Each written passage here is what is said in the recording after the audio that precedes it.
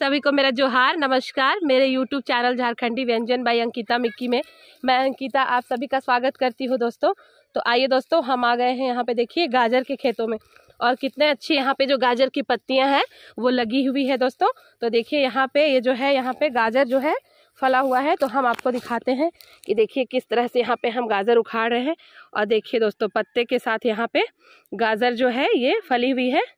इस तरह से हम क्या करेंगे? थोड़े बड़े, छोटे मिला करके गाजर है, वो इकट्ठा कर लेंगे और आपको गाजर का हलवा बना करके दिखाएँगे।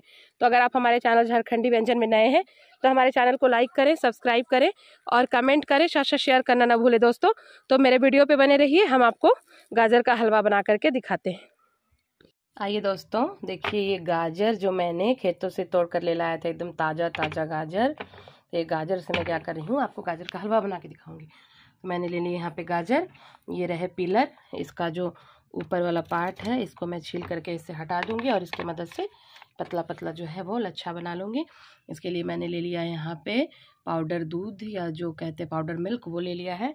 साथ साथ यहाँ पे ले लिया है चीनी। सजावट के लिए, गार्निशिंग के लिए मैंने किशमिश, अखरो, अखरोट, खजूर, पिस्ता, नारियल, काजू, इलायची ले ली है। साथ साथ यहाँ पे मैंने ले लिया है दूध और दूध के साथ यहाँ पे बढ़िया गाढ़ी सी मलाई। तो आइए सबसे पहले क्या करते हैं? ये जो गाजर है, इसको अच्छे से हम घिस लेते हैं। साथ साथ ड्राई फ्रूट्स वगैरह को कट कर लेते हैं और उसके बाद मैं बढ़िया आपको एकदम देसी घी में, दोस्तों, इसे गाजर का हलवा बना करके दिखाऊँगी। तब तक के लिए बने रहें। आइए दोस्तों, ये गाजर है, वो घिस चुके हैं और यहाँ पे ड्राई फ्रूट्स वगैरह भी मैं कट कर ली हूँ और यहाँ पे कढ़ाई में मैंने डाला है, दोस्तों, देसी घी। तो आप इसे देसी घी से भी बनाएँ, अगर लोग, आप देसी घी ना खाते हो तो लोग इसे रिफाइन से भी बनाते हैं। तो इस तरह से मैंने यहाँ पे देसी घी है, उसको गर्म कर लिया है।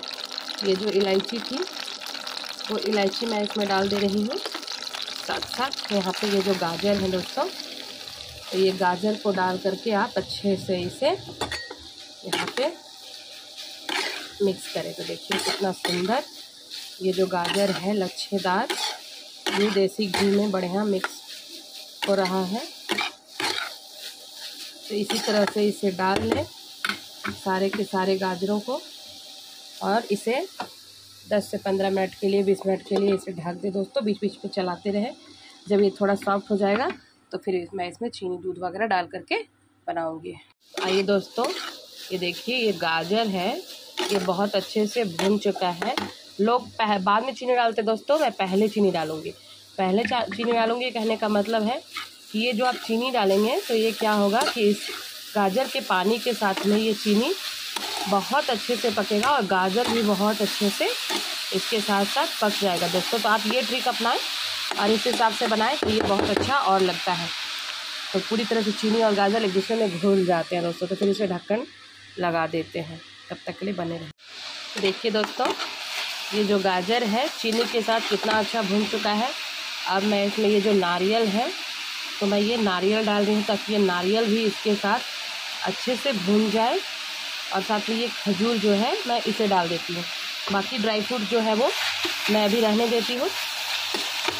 ये रिच नारियल जो है, अभी इसके साथ बहुत अच्छे से भुनेगा और साथ साथ में ये जो पाउडर का पाउडर, दूध या मिल्क पाउडर जिसे हम बोलते हैं, ये मिल्क पाउडर भी इसके साथ अच्छे से अभी यहाँ पे मिक्स होगा दोस्तों। तो देखिए कितना रिच जो है, ये गाजर का हलवा मैं बना रही हूँ। फिर इसे आपस में अच्छे से मिक्स होने देते हैं दोस्तों। मिठास के लिए जो था यूज़ किया मैंने, अब बस इसे पाँच से सात मिनट ये मिक्स हो जाए, उसके बाद मैं इसमें दूध डालूँगी दोस्तों। तो बने रहे आइए दोस्तों, ढक्कन हटा लेते हैं और देखिए कितना टेस्टी जो है, कितना अच्छे से ये जो है गाजर पक चुका है दोस्तों। चीनी वगैरह मैंने डाल ही दिया था। अब मैं यहाँ पे ये जो मिल्क है दोस्तों, ये मिल्क मैं यहाँ पे डालती हूँ। इस मिल्क में ये जो गाजर है, वो बहुत अच्छे से पकेगा और अच्छे से बॉईल होगा। और बिल्कुल रिच क्रीमी गाजर का हलवा बनने को तैयार है।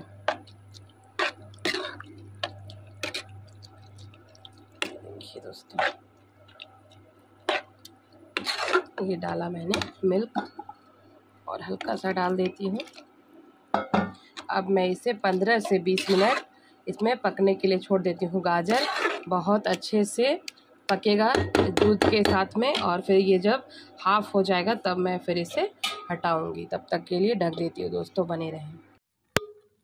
तो आइए दोस्तों, देखिए ये जो हलवा है, उसमें किस तरह से, पूरी तरह से जो दूध है, उसके साथ में अच्छे से बॉयल हो करके बढ़िया से भुन गया है। अब यहाँ पे जो ड्राई फ्रूट्स थे दोस्तों ये ड्राई फ्रूट्स जो है वो मैं क्या करूँगी?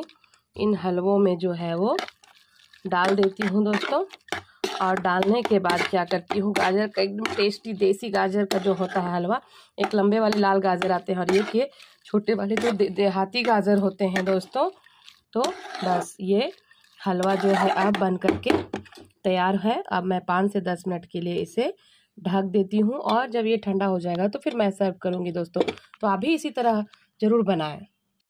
तो आइए दोस्तों, ये जो हलवा है, ये ठंडा हो चुका है। अब मैं इसे यहाँ पे एक बाउल में सर्व करती हूँ दोस्तों। तो देखिए, ये रहा हमारा गाजर का हलवा दोस्तों, सबके लिए रेडी है। और ऊपर से कुछ यहाँ पे ड्राई फ्रूट्स दोस्तों। तो टेस्ट में बहुत ही अच्छा ये हलवा बनाए दोस्तों। तो देखिए, टेस्ट में बहुत ही अच्छा है, बहुत ही स्वादिष्ट बना है। तो आप भी इसे अपने घर पे बनाएँ और सबको खिलाएँ दोस्तों। तो सभी को मेरा वीडियो देखने के लिए धन्यवाद। साथ साथ कमेंट बॉक्स में ज़रूर बताएँ कि ये कैसा बना है।